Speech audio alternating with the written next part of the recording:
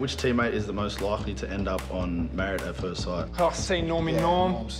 He's a celebrity, loves himself a little bit too much. Looking for the right girl. 2021, the year of the girlfriend. Do you know Matt Moylan? I was actually going to say you, but that's not even a jab just because you, you would be most likely. I prefer Love Island. Toby Rudolf. That or Love Island. Parks. Parks, yeah, Brad Parker. He'd actually be funny on there. I reckon you. No, yeah, okay, we'll say me just to be safe. He probably needs married at first sight to get, get him a ring. Yeah, me, I too, me. He applied this year. Yeah, I did. Christian Welch. Yeah, easy, Christian Welch. Mate, he goes on that many dates, it's not funny at all. He's looking for love, women out there, you know what I mean? Just mm. Damn it. I reckon Radley, bro. Yeah, Bradley's really only single one. And Raz is the only single one and is sort of like looking for a girl. Ethnicity? Going for the heart. Yeah. Go.